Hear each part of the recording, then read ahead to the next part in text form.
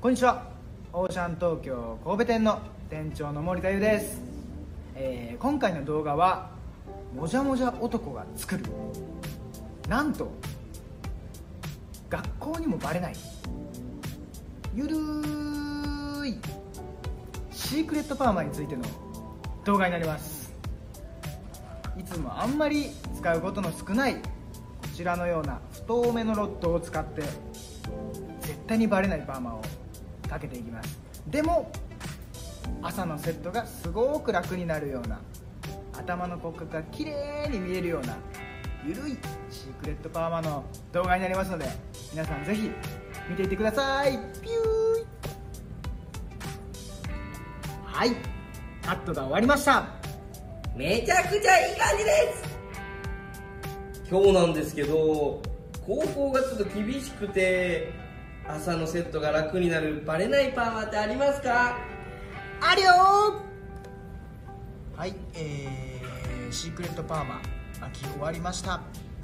前髪はサイドパートに切れ流れるように巻かせていただいていてトップに自然なボリュームが出るように巻いているのと後頭部にも綺麗なボリュームが出るように巻いております。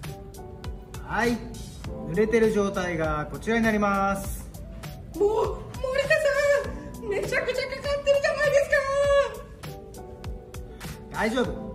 乾かすと綺麗になじみます。はいドライが終わりました。これなら絶対バレないです。トップもふわっとしててセットめちゃくちゃしやすそうです。はいドライしてワックスをつけた状態がこちらになります。今回はオーシャントリコのエアーを使いました。程よい C カールの動きとトップにボリュームそして後頭部にもボリュームが出てます。シークレットパーマのメリットとして、まあ、カール動きがつくのはもちろんなんですけども骨格補正、えー頭の形をきれいに見せるメリットもあります。イェイ！